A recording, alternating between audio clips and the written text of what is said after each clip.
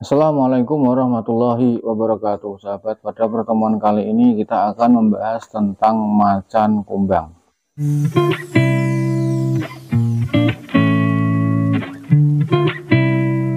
Bismillahirrahmanirrahim.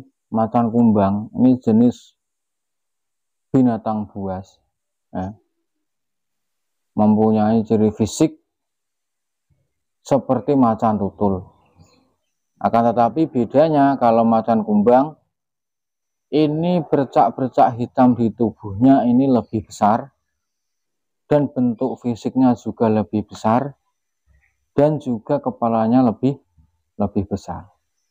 Ini yang macan macan kumbang.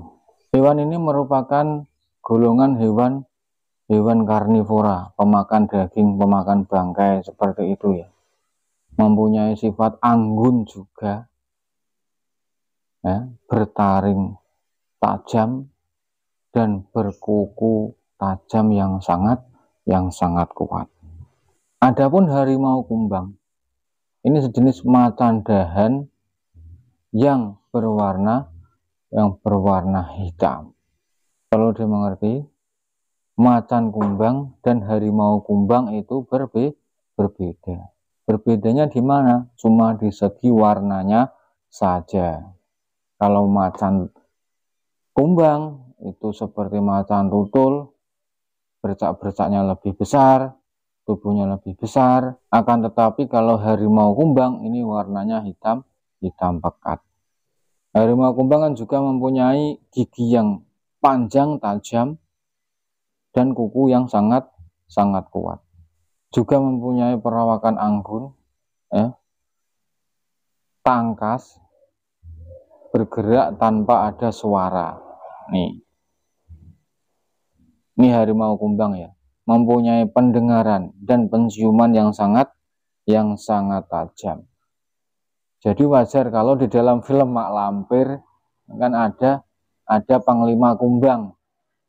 Jadi tugasnya Panglima Kumbang sebagai penelisik berita dari kawanan musuh kan gitu.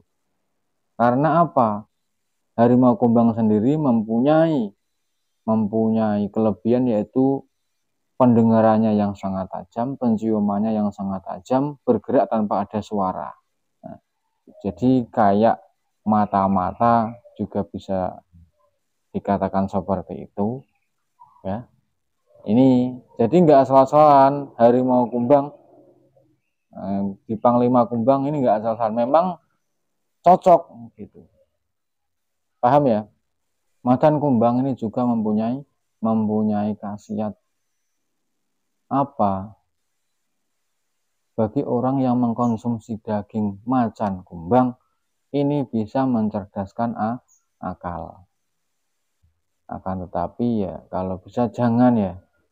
Soalnya apa? Macan kumbang ini termasuk hewan yang haram dimakan karena eh, mempunyai taring yang sangat tajam dan kuku yang sangat tajam termasuk hewan hewan buas, hewan pemangsa.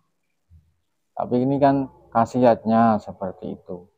Apa tadi mengkonsumsi daging macan kumbang bisa mencerdaskan mencerdaskan akal. Apalagi khasiat ketika mengkonsumsi macan kumbang yaitu menguatkan tubuh tubuhnya bisa kuat, daya tahan tubuhnya bisa bisa melebihi orang-orang biasa. Jadi tambah kuat gitu loh. Dan ketika ada orang meminum darah macan kumbang, ini menjadikan kebu kebutuhan. Kalau ada orang minum darah dari macan kumbang, ini orang tersebut akan menjadi menjadi bodoh. Apalagi ini jangan sampai Jangan sampai dilakukan seperti itu. Dalam mimpi, Macan Kumbang juga mempunyai rahasia atau tafsir. Apa? Macan kumbang menggambarkan musuh yang yang bimbang atau tidak menampakkan menampakkan permusuhan atau menunjukkan kemuliaan. apa tadi? Dalam mimpi macan kumbang menunjukkan musuh yang sangat bimbang. Musuhnya ini bimbang. Atau juga musuh yang tidak tidak menampakkan permusuhan. Seperti musuh dalam dalam selimut. Atau menunjukkan kemul kemuliaan. Ini juga karena karena apa itu nanti bisa menunjukkan kemuliaan Mimpi bermusuhan dengan macan kumbang artinya dia akan bermusuhan dengan sese seseorang. Nah, untuk bila jangan sampai kita mimpi seperti itu. Kalau nanti kita mimpi e, bermusuhan dengan macan kumbang, berarti kan kita bermusuhan dengan orang. Sedangkan agama Islam melarang bermusuhan dengan sesama sesama manusia.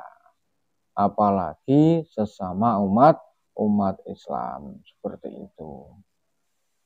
Yang perlu digarisbawahi bahwasanya macan kumbang dan harimau kumbang ini perbedaannya pada kulit yang mana macan kumbang ini seperti macan tutul akan tetapi mempunyai bintik-bintik atau bercak-bercak yang lebih besar tubuhnya lebih besar, kepalanya lebih besar, kakinya lebih panjang.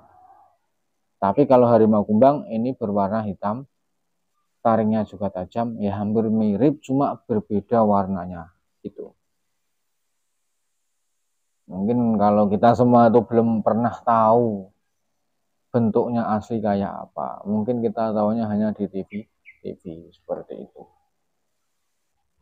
Allah alam swab mudah-mudahan bermanfaat. Jangan lupa subscribe like dan share ke teman-teman.